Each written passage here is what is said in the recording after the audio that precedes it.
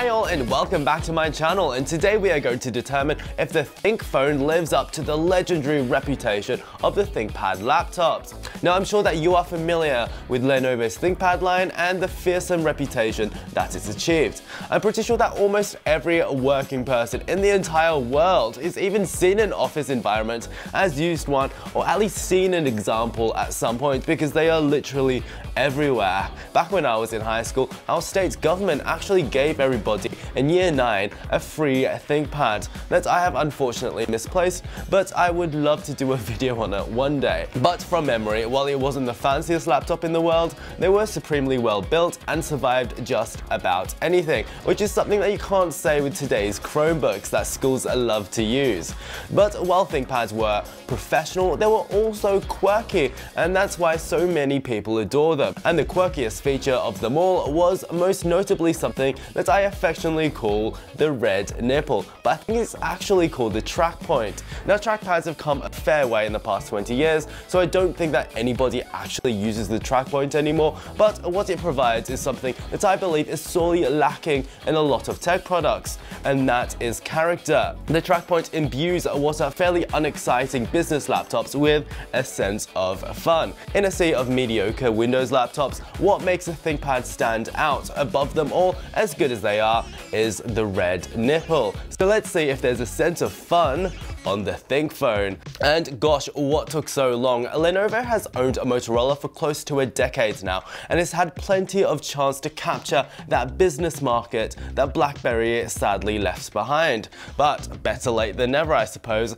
so let's take a look. But before we do, make sure that you've subscribed. If you want to see more videos like this, please give me a like and comment if you are interested in this phone at all. Firstly, let me say that the hardware is exactly how I imagined a ThinkPhone would look.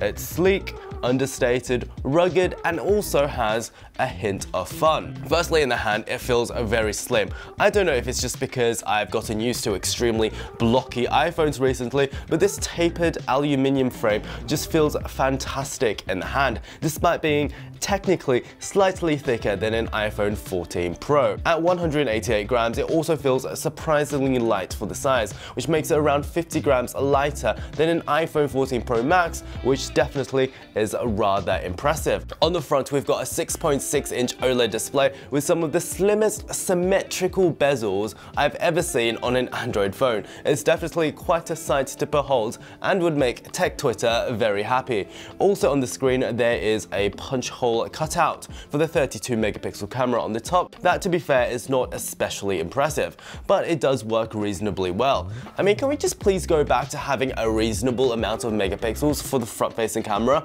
Because that might actually make the photos look better. And down below, we also have the under-display optical fingerprint reader, which as you can see, works very nicely. But it is positioned a little low for comfort, but you do get used to it. On the right side of the phone, we have the power button and also the volume keys. It's actually quite refreshing to uh, have a power button that doesn't have a fingerprint reader anymore, so it is very slim.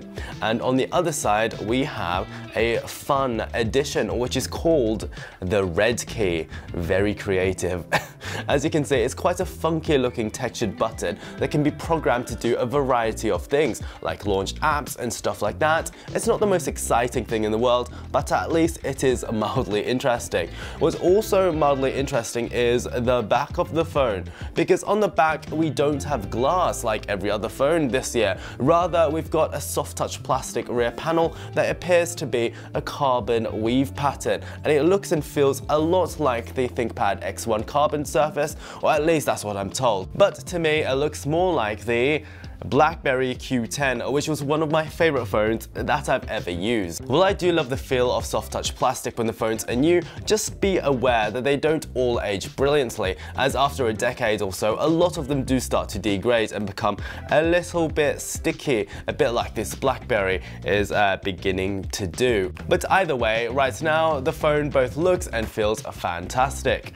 On the top left hand side, we have the camera module, which contains a 50 50 megapixel camera with a relatively large 1 in 1.5 inch sensor. We've also got a 13 megapixel ultra wide, which I think is that one maybe?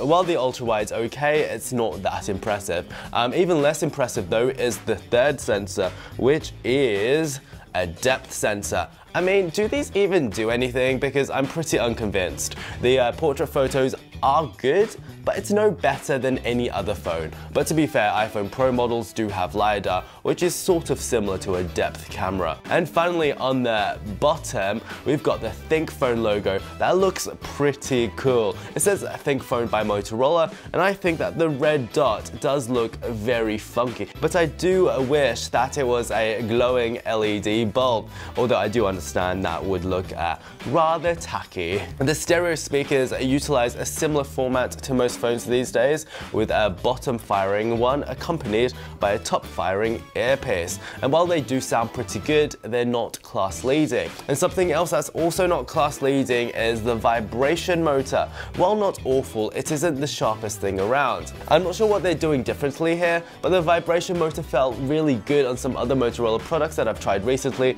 like the 2022 Razr and also the Edge 30 Pro.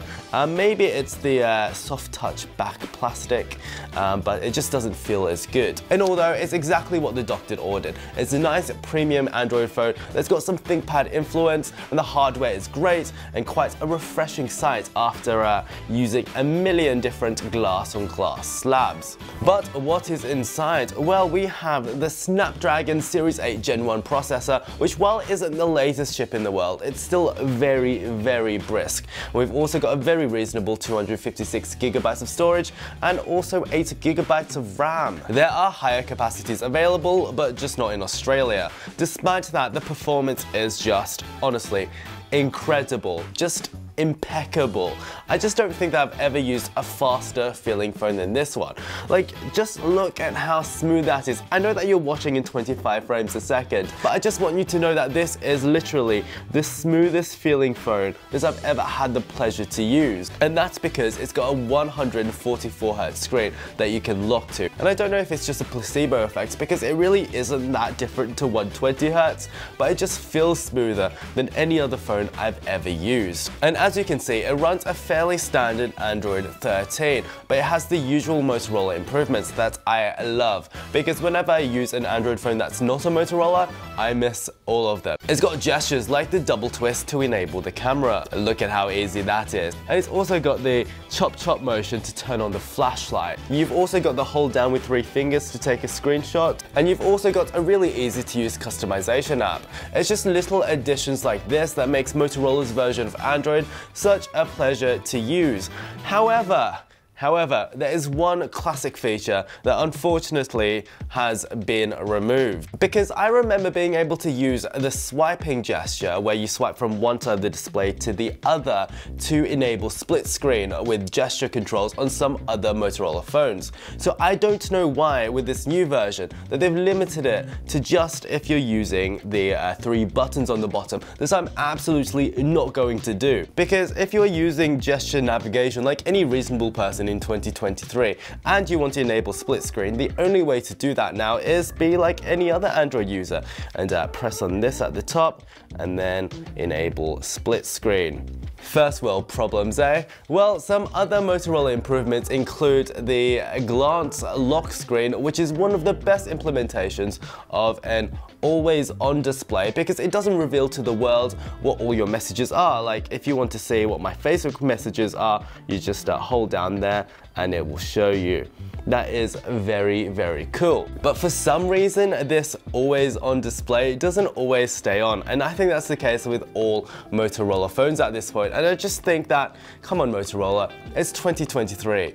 It's time to get a proper always on display. Something that is great though is that Motorola is now offering three years of Android updates and four years of security updates, which is fantastic. While that's not class leading, it still will definitely be long enough for most business users and no longer be a reason to avoid Motorola phones. But that's not it, because the Think phone takes Motorola's improvements to the next level, but only if you've got a ThinkPad or another Windows PC, because I couldn't get any of the features to work with Parallels on my MacBook for some reason. But um, as an Android user, if you've ever felt jealous of Apple's finely tuned integration between iPhone and Mac, this is the phone for you, because some of the features of Ready for are absolutely insane. To activate the feature, all you have to do is press on this red button like so. And now you are able to access things like a unified clipboard, AirDrop, which is called File Drop, and also the ability to use the ThinkPhone's camera as a webcam, which is only a very recent addition on Macs. Another really cool feature is being able to run your phone's Android apps right on your PC, so you can use Instagram and TikTok just like how you would on your phone. All of these features are really great and really put Motorola's integration with Windows PCs a step above the competition. However, while these features that I've seen demoed very well, I can't show you right now because unfortunately, again, I have a Mac. What I can show you though is something that's perhaps even more impressive, and that's the desktop substitute aspect of Ready For. Similar to Microsoft's Continuum or more recently Samsung's DeX, Ready For allows you to simply plug your phone into the display to turn it into a desktop computer. Over here I have a USB-C display and all you do is plug the phone in and you can already see wow. Not only is this phone powering the entire display, but I can connect a Bluetooth keyboard or mouse if I like. Over here, I'm using the phone as a touchpad, or you can even use it as a Wiimote-like pointer. And as you can see, it works really great. Let's just try using it. For example, let's open Chrome. It opens in this lovely window. That's the uh, page that I had open before. And let's try another app. Let's try opening Apple Music for the lulz. As we can see, Apple Music works okay, and you can scroll um, with two fingers like you would on a MacBook. So that all works brilliantly. Let's try one more app. Now let's try Instagram. And as we can see, Instagram works great. You can scroll like you'd expect, and it's a floating window as well, so you can multitask like you would on a computer. Games like Asphalt 9 and Civilization also work surprisingly well. So now let's try opening Civilization 6, which was originally a desktop game. Let's see if we get the desktop experience. Okay, so the graphics look really good. Let's move the settler over here, and let's move my warrior over here. Let's explore. And now let's settle. This looks like a nice spot. It really isn't, but uh, we'll just settle anyway. And as you can see, Civilization plays fantastically. And I guess this really shows the power of this chipset despite being a generation old. What I do wonder though, as impressive as this is, does anyone actually use Ready For? Because apart from maybe plugging it into a TV or a projector to watch some content or to view a PowerPoint, there's no obvious use case for Ready 4 for most people. If you're going to be working at at a desk with a screen, chances are there's already going to be a desktop or a laptop. And in that situation, you're probably going to need something more powerful than the apps that uh, Android provides. I'm sure that some people love this feature, but apart from being a very impressive tech demo, I'm just not that convinced by its uh, usability.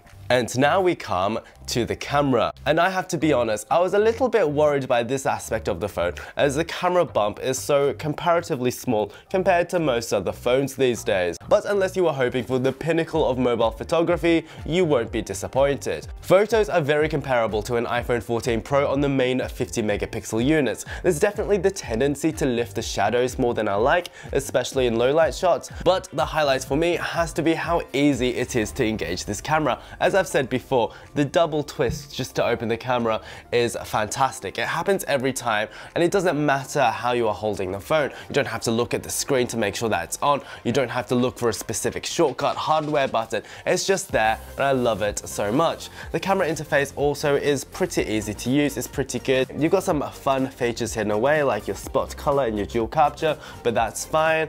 The wide camera unfortunately is a little bit lackluster, but that honestly doesn't bother me too much as I rarely use the ultra wide cameras on my phones anyway, and they're mostly pretty terrible. Uh, but what really shocked me was the video. Now, I think that a lot of people know that iPhones typically have better video than Android phones. I mean, it's just the processing and also the emphasis and not just the stills of the camera. But the video performance on the ThinkPhone, for me, was pretty top notch. While you can engage 8K, I really wouldn't recommend that. Rather, if you choose 4K 30, not only will you have the most buttery smooth stabilization you've ever seen, I mean it gives GoPro a run for its money, but you can also use HDR, which while isn't perfect, it gives you amazing dynamic range, and the whole package just works together in a really fantastic way. And now we come to battery life. Being a business phone, you would be expected to be on your feet all day, you can't have a phone that needs to be recharged halfway through. Well, even though I've locked the phone to a buttery smooth at 144Hz perpetually, which does hurt the battery a lot,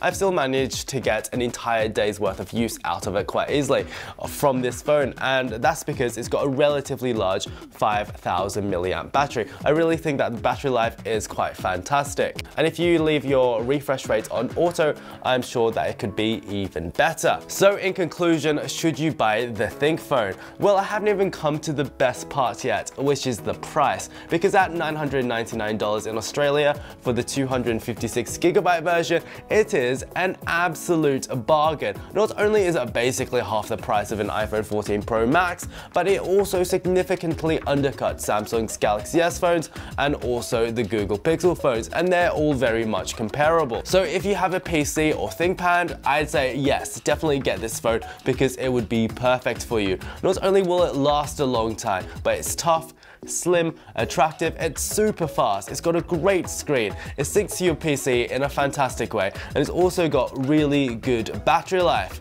If you've got a Mac though, it's still good, but uh, if you want all of their ecosystem features that an iPhone affords you, then this unfortunately won't work for you. And that's unfortunate because BlackBerry had a very similar suite of features back in the day, where it would sync effortlessly with your phone, and it still worked on Macs. Anyway, if you enjoyed this video, don't forget to like, subscribe, and comment if you're going to get the ThinkPhone. And on that note, toodaloo.